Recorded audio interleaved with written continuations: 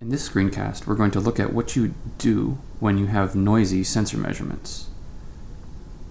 If your sensor measurements look like this, where there's a lot of noise in them, what's going to happen in your closed loop process is that your manipulated variable is also going to jiggle up and down unnecessarily, which will then cause your actual um, temperature to also jiggle down up and down unnecessarily as well. And so what you want to do is you, if you have noisy sensor data, then you want to filter that sensor data by taking a time average or a sliding window average. With a proper filter in place, then what can happen is that your manipulated variable will no longer be sent um, jiggling up and down so much, and then your overall uh, actual temperature is going to settle down to a steady state as well fairly quickly, and it also will not jiggle around as much. Now, in order to put a sensor in your system, sorry, a filter for your sensor in your system. That filter is put right here. So the filter is put here. Now, if you consider a typical feedback loop with high amounts of sensor noise, we're going to explain how this sensor noise can affect this system and contrast this with the effect of the sensor noise in an open loop system. So here's the thing, here's the problem with sensor noise in a closed loop system. It's that high sensor noise can confuse the controller. Because high sensor noise will, will cause your error to jump up and down all the time because your error is your set point minus your sensor value.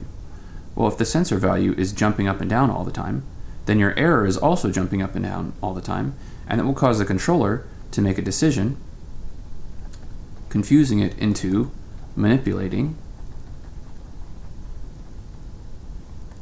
the actuator all the time unnecessarily. Unnecessarily now, in an, in an open loop, in an open loop, this is not a big deal. This being sensor noise.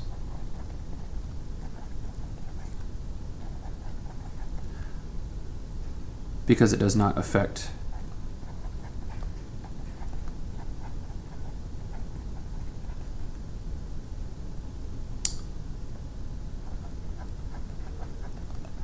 the manipulated variable.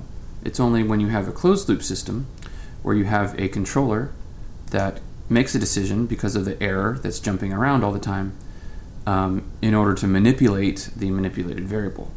And so the controller being confused is going to cause the, the actuator to open and close, open and close, and open, you know, shifting around all the time, which is constantly going to be causing perturbations to your process.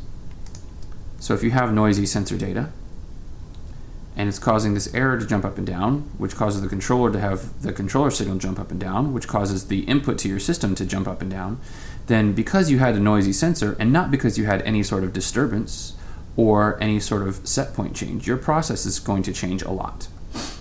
Now, this is especially problematic in a one particular circumstance, and that would be derivative control. If your controller is a derivative controller, then what could happen is that your sensor data being noisy will cause your, your controller to take an estimate of the derivative, which will be swinging wildly from extremely large and positive to extremely uh, large and negative all the time. So, for example, if this were your sensor data, if this were your uh, some average value, and your sensor data were doing this, all the time, what the controller does is it takes an estimate of the derivative by taking the difference between two points. And so your derivative is going to be jumping up and down like crazy all the time.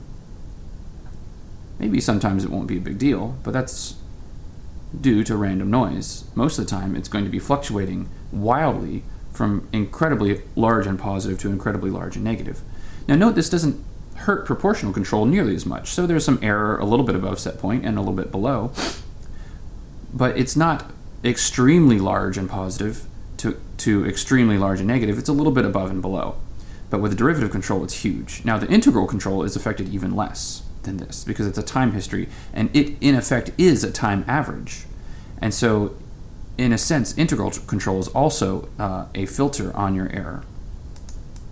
But if you want proportional control to increase the speed of your system and derivative control to dampen the oscillations, then you better have um, very good sensor or a uh, filter in place.